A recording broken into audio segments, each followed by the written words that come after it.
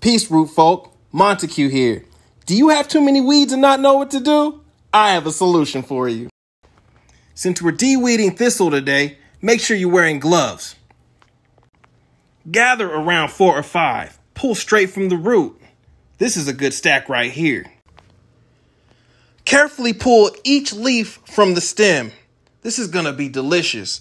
With wild weeds, my motto is if you can't beat them, eat them. Rinse them off real good. Never know, might be critters up in there.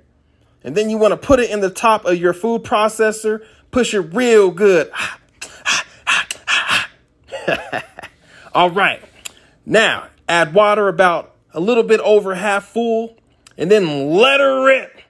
Uh, uh, uh, Strain out that prickly pulp. Half banana, half apple. Stop, drop, blend. Oh.